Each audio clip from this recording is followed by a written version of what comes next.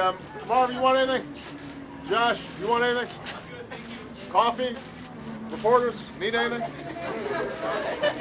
One of these, one of these cinnamon rolls? Oh, what do you think? Those cinnamon rolls are great. How many, how many, how many of these, uh, how many of these you got? Sticky buns, how many can you, you got six of them? Or you're just counting? I mean, I can count too. All right, why, why, why don't, I- I'm gonna take all of those. All of them? Okay, good choice. They were just made this morning.